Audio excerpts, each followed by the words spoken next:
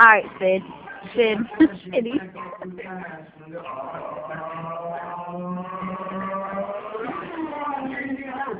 crazy, crazy, that's all the blood Superman now.